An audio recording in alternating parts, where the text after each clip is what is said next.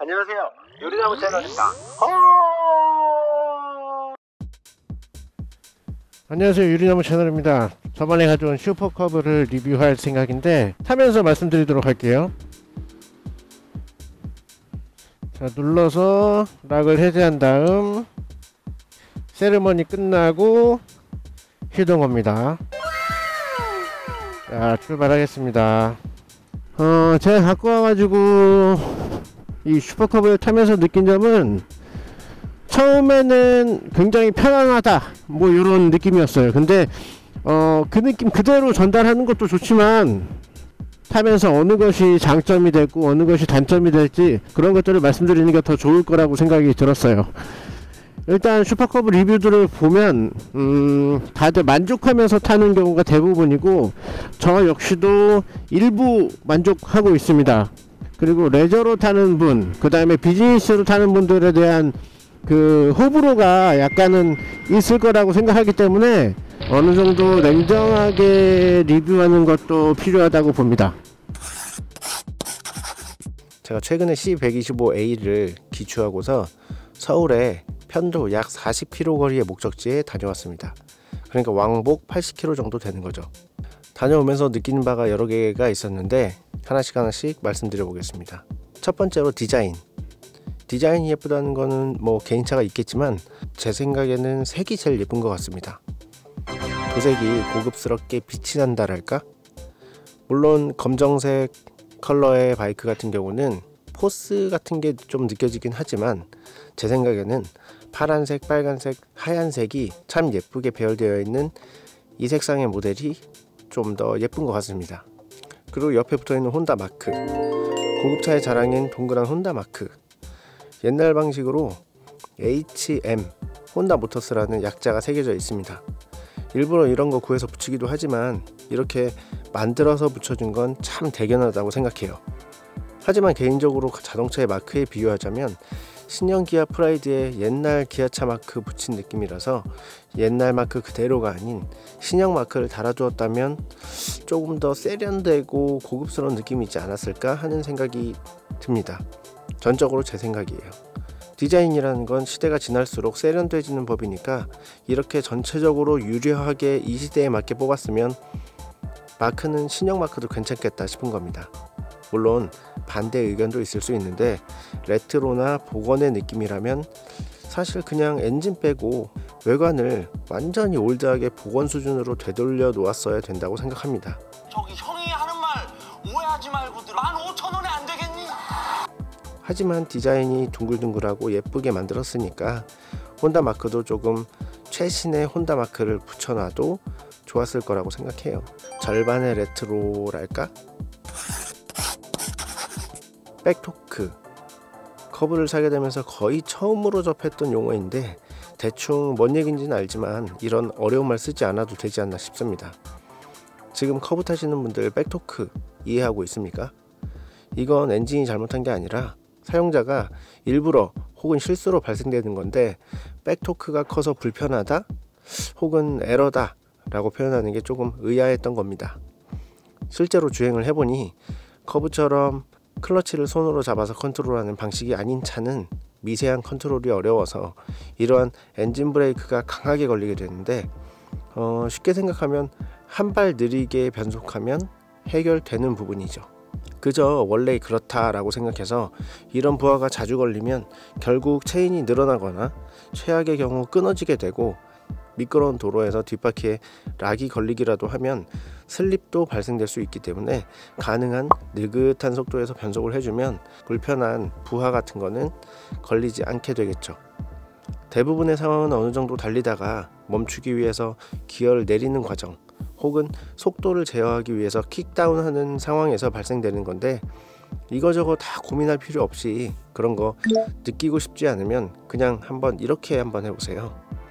4단의 빠른 속도에서 달리고 있다면 30km 이하에서 3단으로 내리고 20km 이하에서 2단, 10km에서 10km 이하에서 1단으로 한번 내려보세요.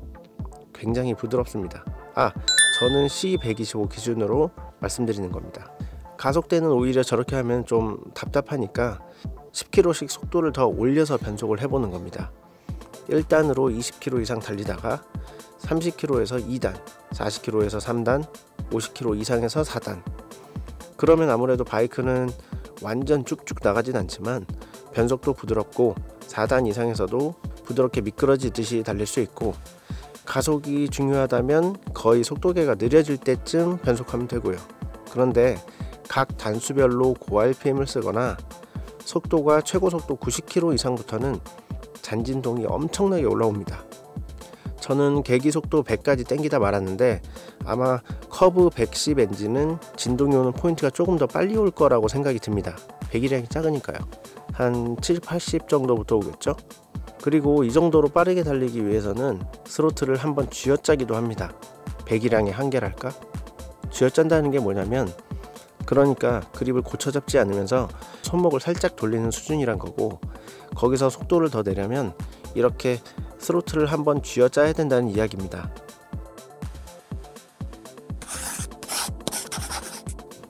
잠깐 잠깐은 뭐 모를 수 있지만 전국 여행이라든지 제주도 투어 같은 장거리를 갈 땐 이 정도로 손목에 힘을 계속 주고 있다 보면 손목도 뻐근해지고 몸도 피곤해지는 주행 스트레스도 쌓입니다. 주행 피로도 외곽이던 시내이던 각각 다른 주행 피로가 생깁니다. 이건 바이크 엔진 크기 문제가 아니라 상황에 관한 이야기인데 조금 뚫린 도로에 올라갔을 때 정말 심리적으로 압박이 심합니다. 공포심이랄까?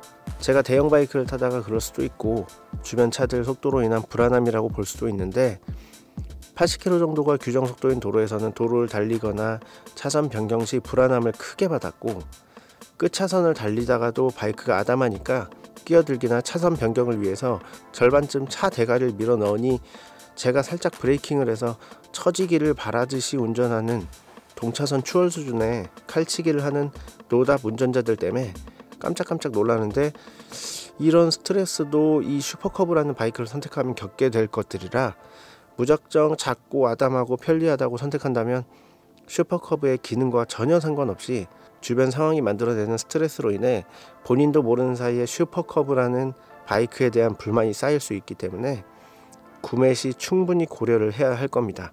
그렇지만 시내 50km 제한에 단속 카메라가 많은 서울 시내라든지 정체가 심한 도로에서는 그런 걸 전혀 느끼지 못했습니다. 오히려 커브가 가장 빠르다고 느껴졌으니까요.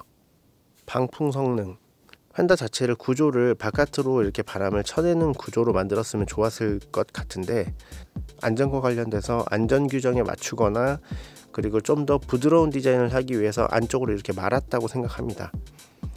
사실 바람을 다 쳐내야 될 정도로 빠른 바이크는 아니지만 실제로는 바람을 많이 막아줄 것 같으면서도 막아주지 못하는 게 조금 아쉬웠습니다. side cowl이 조금 더 넓거나 바깥 날이 안쪽이 아닌 바깥으로 길이 나 있었으면 좋았겠다라는 생각입니다.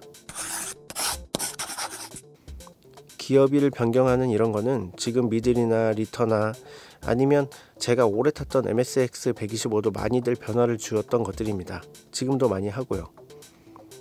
제가 렉스턴 스포츠 리뷰도 하면서 보신 분들은 아실 수도 있겠지만 튜닝은 분명히 잃는 것이 생깁니다.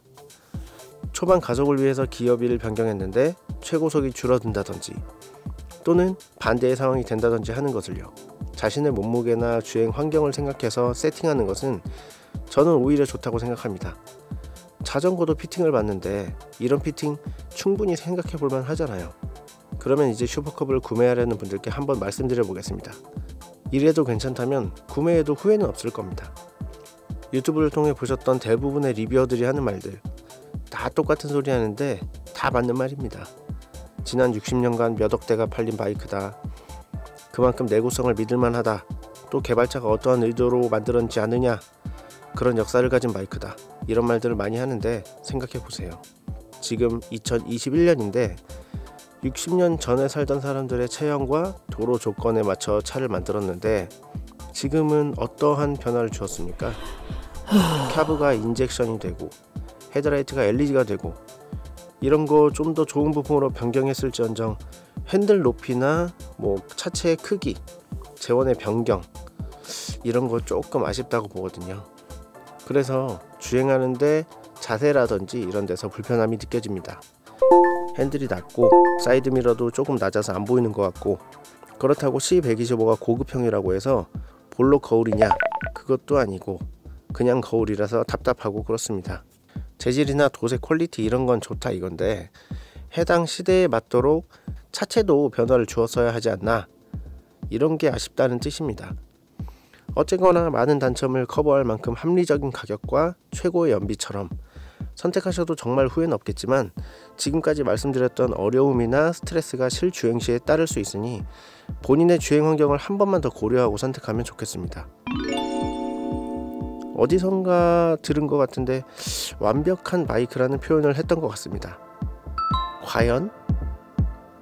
자 지금까지 저는 유리나무였고요. 영상을 재미있게 보셨다면 구독 버튼을 통해 다음에도 더 좋은 영상으로 만나 뵙도록 하겠습니다. 그리고 좋아요 버튼과 댓글을 통해서 모든 이들이 함께 좋은 정보를 공유할 수 있도록 해주시길 바라겠습니다. 고맙습니다.